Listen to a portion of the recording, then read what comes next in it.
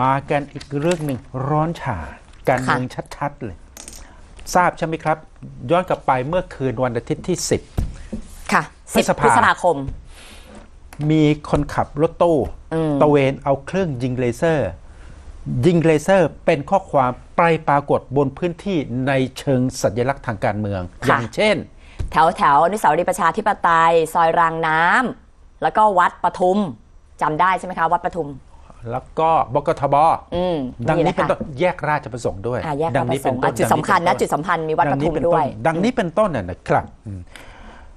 ข้อความที่ยิงให้ไปปรากฏบนพื้นที่ในเชิงสัญลักษณ์นั้นอืมมีข้อความว่าแฮชแท็กตามหาความจริง ค่ะ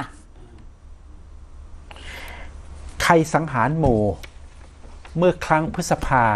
35และใครสังหารหมู่เมื่อครั้งพฤษภา 53 53 เขาบอกว่าจะตามหาความจริงกันอะว่ากันไปประมาณนั้นค่ะครั้งแรกก็ชงน ครั้งแรกก็สงตั้งสัเป็ยนประเด็นเลเซอร์ปริศนาใครเป็นในเวลาคนทำต่อมา ในเวลาต่อมาไม่ต้องคืนตามหาคืนวันจันทร์ที่ 11ถัดมาอีกหนึ่งวัน ไม่ต้องไขปริศนาไม่ต้องตามหา ไม่ต้อมีงตาคมนบอล่ากแล้วว่ามาจากไหน คณะก้าวหน้าของธนาธรจึงรุ่งเรืองกิจปิยบุตรแสงกระดกกุลพันิกาวานิชอืมประกาศรับผิดชอบอืม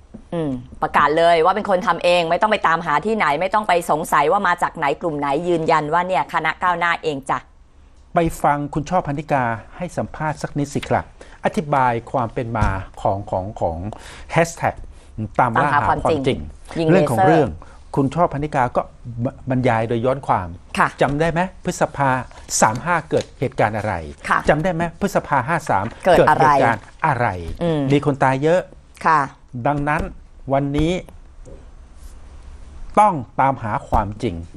ความจริงในสองเหตุการณ์ครั้งนั้น ใช่ค่ะ แล้วเปิดให้คนรุ่นหลังได้มีโอกาสรับรู้กับสิ่งที่เกิดขึ้นด้วยนะคะ แล้วก็ทวงความยุติธรรมให้กับคนเสียเมื่อชีวิตวานผู้สื่อข่าวก็ถามนะอืมเมื่อวานผู้สื่อข่าวก็ถามนะทำอย่างนี้ในสถานการณ์ณขณะนี้หนึ่งสังคมรับได้ไหมค่ะสองในทางกฎหมายจะมีปัญหาไหมนี่สิ ไปฟังคุณชคุณอบชอบพันธิกาให้สัมภาษณ์ประเด็นนี้สักนิดหนึ่งเชิญค่ะ มีคนติดต่อมาเข้ามาอย่างไรบ้างเรื่องนี้มีความกังวลจากเรานะคะว่าตำรวจกำลังกระทำการที่ละเมิดและคุกคามประชาชน มีคนแจ้งเรามาหลายคนว่าตำรวจไปตามเขาถึงบ้าน กล่าวหาว่าเขามีส่วนเกี่ยวข้องกับการฉายเลเซอร์ฉายโปรเจคเตอร์ ทั้งที่แม้แต่รองนายกวิษณุแม้แต่รัฐมนตรีกลาโหมแม้แต่รองนายกประวิตรก็ยังไม่ทราบว่าตกลงนี่มันผิดข้อหาอะไร ตำรวจเองที่รับผิดชอบในแต่ละท้องที่ก็ยังไม่ทราบว่าผิดข้อหาอะไร แต่กลับมีการตามไปกล่าวหาคนนู้นคนนี้ หลายคนเต็มไปหมดว่าเกี่ยวข้องกับเหตุการณ์ ก็ฝากไปถึงตำรวจแล้วกันนะคะว่าคณะก้าวหน้าได้บอกแล้วว่าเราเป็นผู้ที่ริเริ่มแคมเปญนี้ อยากจะได้ข้อมูลอะไรให้มาถามที่เรา อยากจะดำเนินคดีอะไร ก็มาดำเนินคดีที่คณะก้าวหน้า ถ้าหาคดีจะมาดำเนินได้ เพราะว่าก่อนที่จะทำ แคมเปญการเมืองใดๆ เราไม่ใช่กลุ่มก้อนกระบวนการใต้ดิน เราก็ต้องเช็คว่ามันไม่ได้ผิดกฎหมาย ไม่ได้ทำให้รถติด ไม่ได้ละเมิดเคอร์ฟิวทุกอย่างเสร็จภายในสามทุ่มไม่ได้ไปก่อความเดือดร้อนรำคาญไม่มีเสียงดังไม่ได้ไปเอาเลเซอร์ฉายใส่ตาใครจนได้รับอันตรายฉายใส่ผนังสถานที่ราชการสถานที่สาธารณะเพราะฉะนั้นก็ขอร้องค่ะ การปกปิดความจริงดำเนินมามากพอแล้ว อย่าปกปิดมันอีกเลย ยอมรับความจริงว่ารัฐทำอะไร ร่วมกันชำระประวัติศาสตร์แล้วเราก็จะก้าวข้ามผ่านไปด้วยกันตรงนี้เรามีการกังวลเอาละครับเอาละครับ ถ้าจับประเด็นแบบจิโกนะ คณะก้าวหน้า คุณชอบพันธิกาก็ท้าให้จับ แต่หาให้เจอนะ ผิดกฎหมายข้อไหนค่ะ ไปฟังนายกลุงตู่ของคุณแมวสาวสักนิดสิครับเมื่อวานกพูดข่เรื่องนี้อย่างไรนักข่าวพยายามที่จะเอาถามเรื่องเลเซอร์แฮชแท็กตามหาความจริง ไปยัดปากนายพกลเอลุกงประตู่ยุทธ์ใช่ไปฟังซิเมื่อวานนายกตอบอย่างไรกับเรื่องนี้เชิญค่ะ